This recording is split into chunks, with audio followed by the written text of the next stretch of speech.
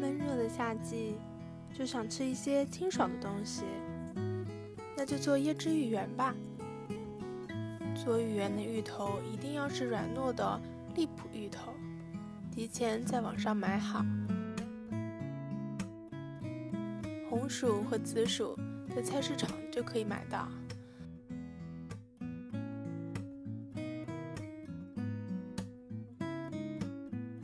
做法很简单，但是很需要耐心。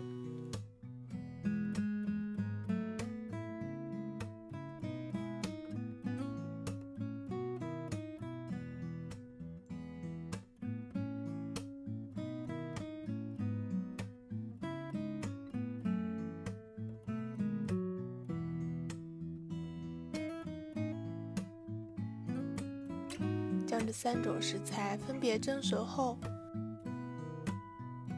加入木薯粉，揉均匀，擀成长条状后，再切成小个儿。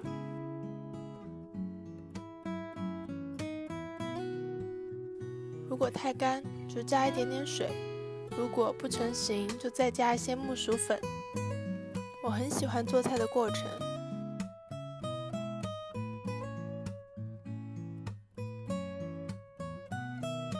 因为这是一个非常专注的时光，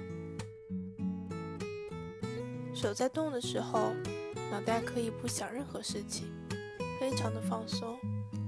啊，终于可以抛下工作中的压力和紧张感，也不被手机和电脑所影响，不用一直被塞入各种资讯，这是很纯粹的时光。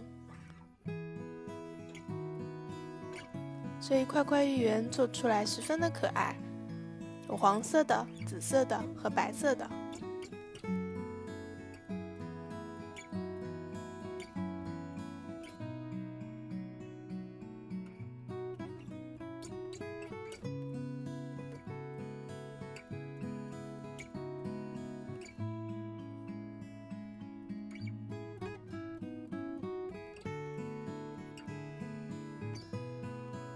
放在开水里煮熟后，立刻放进冷水里，这样芋圆才会 Q Q 的。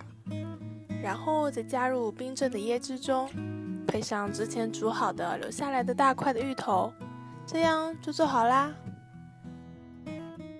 夏日周末的下午茶就这么开始啦。